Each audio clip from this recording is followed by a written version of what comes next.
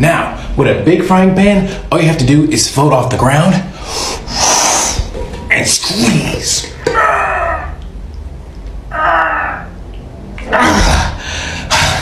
And you can bend that in slowly.